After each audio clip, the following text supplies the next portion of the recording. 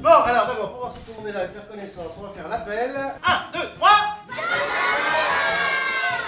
C'est bon, parfait, tout le monde est là. Bien, euh, je vous disais, le programme du plus facile au plus difficile, on va commencer par la base de la magie, l'apparition des animaux. Tu vas souffler sur ta colombe pour lui faire bouger les ailes. Vas-y, 1, 2, 3, souffle. Ensuite, à partir du début novembre, hein, on fera les tours de cartes. C'est compliqué, hein Voilà. Ah mince, il me faut un enfant de 6 ans. C'est bête. T'as quel âge? 7 ans. Aïe, aïe, aïe. C'est bête parce que tu vois, il y en a plein qui voudraient être à ta place. Mais pour ça, il faut avoir 6 ans. T'as quel âge? 7 ans. Aïe, aïe, aïe, aïe, aïe. Tu vis des tours avec euh, des baguettes magiques, très important aussi. Très bien, garde la baguette. Voilà. Laisse pas, pas, pas vers les gens. Elle est chargée, fais attention, c'est pas une. Voilà. Flash magique.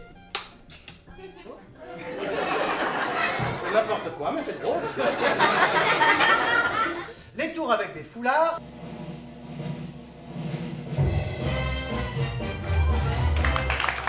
Les potions magiques, un gros morceau du programme, c'est pas mon préféré, j'aime pas trop ça, mais c'est obligatoire. Et ensuite, on verra les lévitations. Doucement, doucement. La magie d'abord, c'est un art.